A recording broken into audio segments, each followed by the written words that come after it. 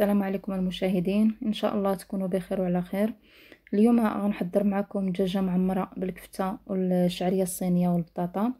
اللي غنحتاجو في المقادير 100 غرام ديال الكفتة نص كاس زيت بلدية نص كاس الماء صبور ومعدنوس والثومه مدقوقين بصلة محكوكة شعرية الصينيه بطاطا مسلوقة ليبزار الملح كمون الهريسه لا موطارد تحميرة الحامض المصير ودابا غندوزو نشرملو الدجاجة.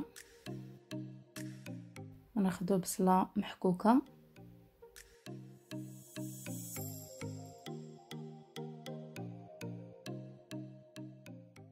الصبور المعدنوس والثومه مدقوقين.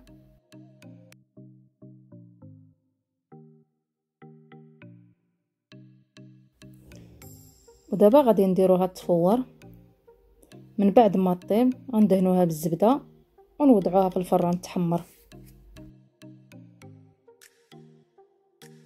من بعد ما طابت الدجاجة دهناها بشوية ديال الزبدة وحمرناها في الفران.